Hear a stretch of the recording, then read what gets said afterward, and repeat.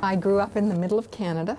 I did not see the ocean until I was 19 years old, but I used to read books by Jacques Cousteau and I would watch his old movies, Silent World, and I fell in love with the ocean. I am a Canada Research Chair in Deep Ocean Research and a professor at University of Victoria.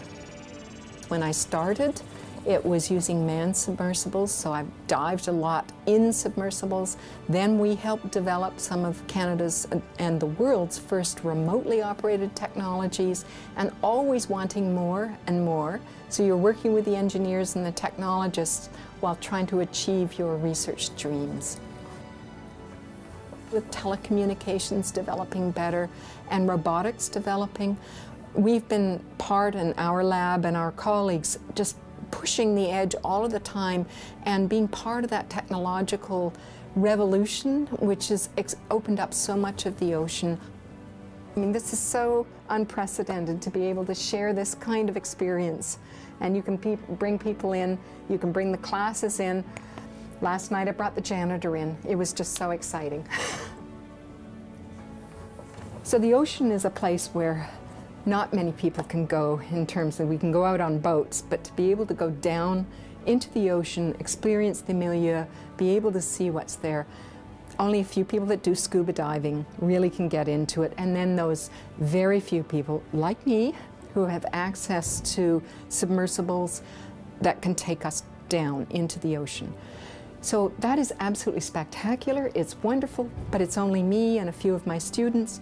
So how do we bring the ocean to more people? This is a huge part of our planet.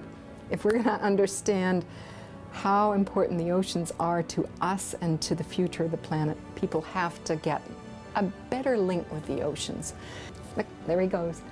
It's just adjusting. They use their big pectoral fins as a purchase. They have big uh, fin rays coming out that they grab onto the onto the seafloor to stop themselves being moved. It's a fish with a very low profile and likes to keep right down on the seafloor.